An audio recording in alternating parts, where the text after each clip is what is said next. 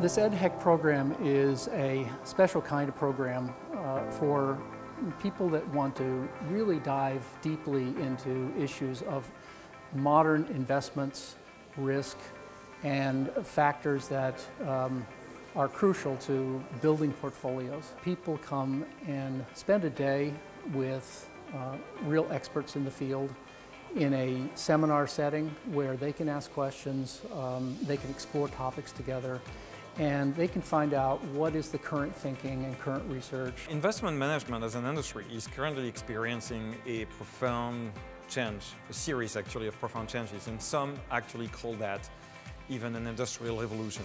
We've known for a long time that it's very, very hard to add value through active management.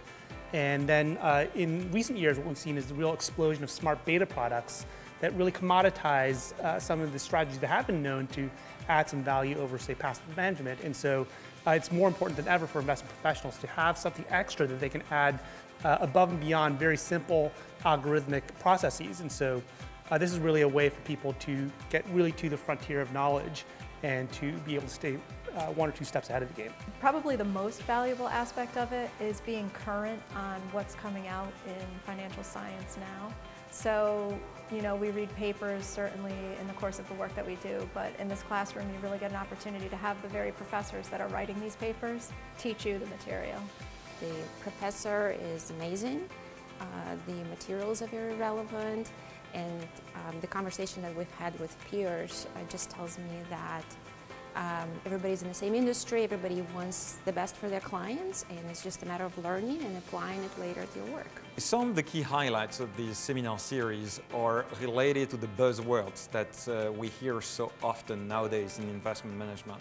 So I'm talking about liability-driven investing, which is the way we use to manage assets in the presence of liability constraints, like for pension funds or insurance companies. We're also going to talk about goal-based investing, for individual investors, how do we manage assets, not for the sake of managing a portfolio, but for the sake of increasing the probability of achieving these otherwise meaningful goals for investors? This is my fourth class, and I would say that the faculty have been excellent.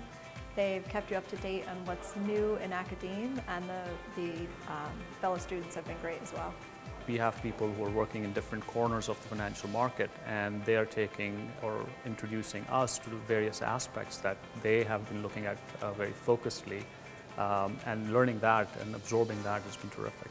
Anything new I can learn and apply it at my work um, is going to be the most value to me, but it's also about networking and getting to know what other managers are doing. The collaboration between EDHEC and Yale um, has been quite fruitful.